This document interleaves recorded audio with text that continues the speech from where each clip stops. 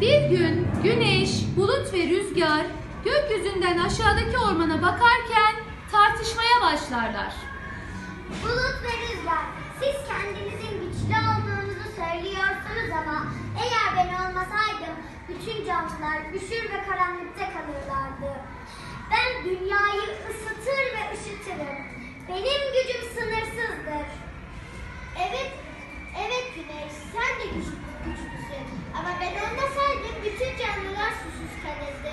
Bu senin, bu ve senin ışın bütün canlıları yakardı.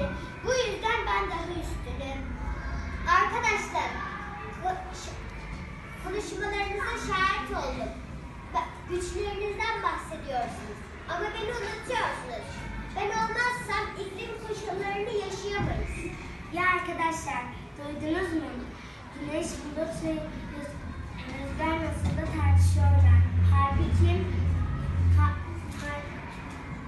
iki dünyamız için onların güçlülüğü, güçlülüğüne ihtiyacımız var. Değil mi arkadaşlar? Evet çok haklısın Çiçek.